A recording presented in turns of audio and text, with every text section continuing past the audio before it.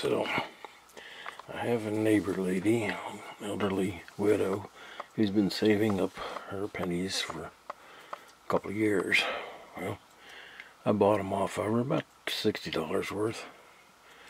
And uh, I've been going through them. Found quite a few goodies, uh, you know, fair stuff.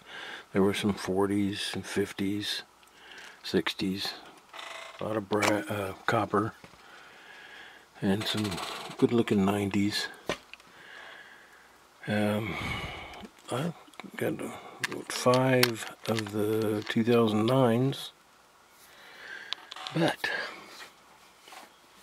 as usual, and hopefully continue, I got something kind of pretty and odd in a way but it is a 1985 Philadelphia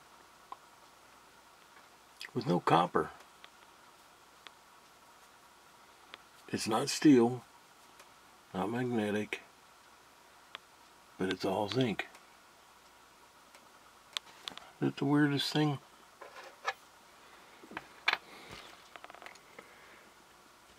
Both sides. Zinc. No copper. Cool. I think it is anyway. So, anyway, tell me what you think. Like, share, and subscribe. 1985 Philadelphia zinc only. Semper Fi.